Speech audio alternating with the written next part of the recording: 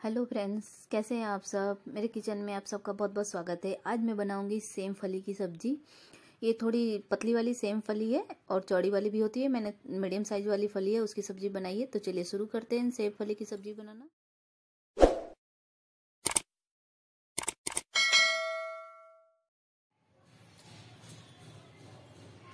ये है सेम फली, कुछ इस तरीके की है। एक इसकी चौड़ी वाली भी आती है, ये थोड़ी पतली वाली है। देखिए, मैंने 250 ग्राम लिया था, इसे मैंने कट कर लिया है धो के अच्छे से। और कैसे काटते हैं वो मैं आपको बताती हूँ। यहाँ से पहले हम इसके साइड निकाल लेंगे, कुछ इस तरीके से। ये ऐसे छिलना से क्या होगा कि आप जब खाएँगे तो मुँह में बाल की तरह नहीं आएगा तो ये साइड वाले ज़रूर कट करके निकालें। और इसके अंदर जो कीड़े होते हैं, वो भी हम कुछ इस तरीके से खोल के चेक कर लेंगे।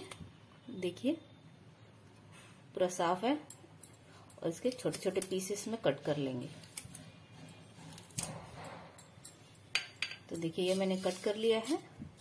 तो चलिए, अब सब्ज़ी बनाना शुरू करते हैं।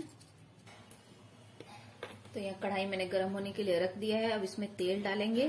तेल दो से तीन चम्मच डालेंगे, क्योंकि सूखी सब्ज़ी मैं बना रही हूँ तो इसमें थोड़ा तेल ज़्यादा लगता है सूखी सब्ज़ी बनाने में। और मैंने यहाँ पे सरसों का तेल यूज़ किया है। आप कोई भी तेल ले सकते हैं। इसको थोड़ा गर्म होने देते हैं। उसके बाद हम इसमें तड़का लगाएँगे। तेल गर्म हो गया है। अब इसमें डालेंगे मेथी दाना। मैं मेथी का तड़का दे रही हूँ। आप जीरा का भी दे सकते हैं। पर मेथी का देने से बहुत अच्छा टेस्ट आएगा। और मेथी को थोड़ा सा चटकने देंगे। अब इसमें डालेंगे दो हरी मिर्च। मैं बड़े बड़े टुकड़ों में ही डाल रही हूँ। आप छोटा छोटा करके डाल सकते हैं। अब इसमें डालेंगे प्याज। मैंने यहाँ पे दो छोटे प्याज को कट कर लिया है। और इसको गोल्डन ब्राउन होने तक हम भून लेते हैं प्याज को। ये देखिए, मैंने प्याज को थोड़ा सा सेक लिया है। अब इसमें हम जो फली को काट के रखा है, उसे डालेंगे।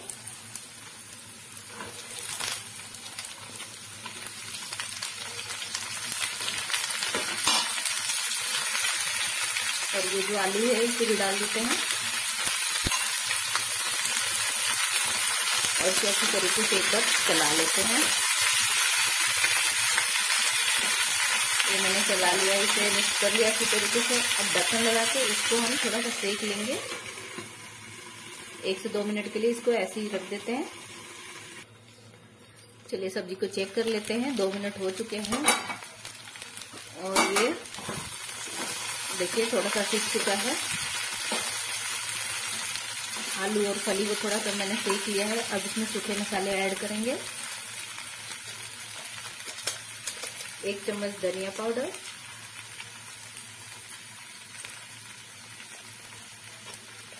आधी छोटी चम्मच हल्दी पाउडर। और आधी छोटी चम्मच मिर्ची पाउडर। और इसी के साथ टमाटर भी डाल देते हैं। टमाटर डालने से टेस्ट बहुत अच्छा आएगा। तो टमाटर थोड़ा ज़्यादा ही डालें। मैंने यहाँ पे दो टमाटर दिया है। और इसे भी अच्छी तरीके से मिक्स कर लेते हैं। और नमक भी हम अभी ही डाल देंगे। क्योंकि जो नमक डाल, टमाटर और नमक डालें तो इसे पानी छोड़ेगा तो सब्ज़ी अच्छे से पकेगी। तो नमक यहाँ पर स्वाद अनुसार डालें। मैं यहाँ पर एक छोटी चम्मच डाल रही हूँ। और इसे भी अच्छी तरीके से मिक्स कर लेते हैं, चला लेते हैं। और फिर हम सब्ज़ी को ढक के पकने के लिए रख देंगे। और इसमें थोड़ा सा पानी डालेंगे, बिल्कुल थोड़ा सा और ये जो बाकी इसी के भाप से ये पकेगा, हमें सूखी सब्ज़ी बनानी है, पानी वाली नहीं बनानी है। अगर आप लहसुन खाते हैं तो आप लहसुन का पेस्ट इसमें डाल सकते हैं। मैंने विदाउट लहसुन ही बनाया है। और इसमें थोड़ा सा पानी डालते हैं। और ढक्कन बंद करते और इसको पकने के लिए रख देते हैं दस मिनट के लिए लो फ्लेम पर। पाँच मिनट हो चुके हैं सब्ज़ी को चेक कर लेते हैं। और ये देखिए सब्ज़ी की खुशबू बहुत अच्छी आ रही है सब्ज़ी हमारी तैयार हो गई है। अब इसके ऊपर थोड़ा सा हरा धनिया डालते हैं और ये सब्ज़ी हमारी खाने के लिए तैयार हो गई है। आपकी लैंग्वेज में इसे क्या, बोलते हैं? सब्ज़ी का क्या नाम है? आप कमेंट करके ज़रूर बताएँ। सेम फली की सब्ज़ी।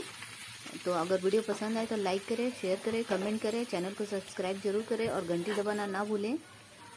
और आप ये सब्ज़ी रोटी, पराठा या चावल के साथ भी खा सकते हैं। ऐसा नहीं है कि सब्ज़ी सूखी लगेगी, रोटी के साथ बिल्कुल भी नहीं। ज़रूर एक बार बनाएँ।